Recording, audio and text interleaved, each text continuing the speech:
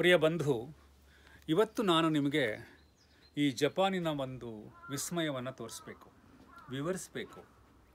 ನನ್ನ ಬೆನ್ನ ಹಿಂದೆ ಕಾಣುತ್ತಲ್ಲ, ಬಹಳ ಹಿಮಾಚ್ಛಾದಿತವಾದ, ಆಕರ್ಷಕವಾದಂಥ ಒಂದು ಬೆಳ್ಳಿ ಬೆಟ್ಟ. ಇದನ್ನು ನಂಬಬೇಡಿ, ಯಾಕೆಂದರೆ ಇದು ಫ್ಯೂಜಿ ಅಗ್ನಿಪರ್ವತ. ನೋಡಲಿಕ್ಕೆ ಒಂದು ಹನ್ನೆರಡು ಸಾವಿರದ ಮುನ್ನೂರ ಎಂಬತ್ತೆಂಟು ಅಡಿ ಎತ್ತರ ಇದೆ. ಇದೇನು ದೊಡ್ಡ ಎತ್ತರವಲ್ಲ, ಇದರ ಇದಕ್ಕಿಂತ ಎತ್ತರವಾದಂಥ ಅನೇಕ ಪರ್ವತ ಮಾಲೆಗಳು ಜಗತ್ತಿನಲ್ಲಿದ್ದಾವೆ.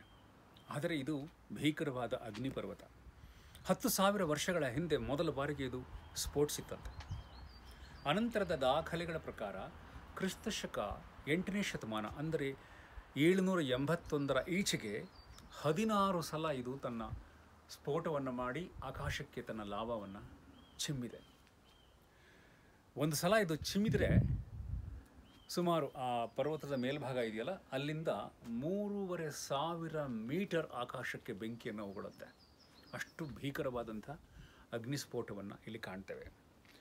ಆ ರೀತಿ ಸ್ಫೋಟಗೊಂಡಾಗಲೆಲ್ಲ ಸುತ್ತ ಭೀಕರವಾದಂಥ ಭೂಕಂಪಕ್ಕೆ ಈ ನಾಡು ಒಳಗಾಗುತ್ತೆ.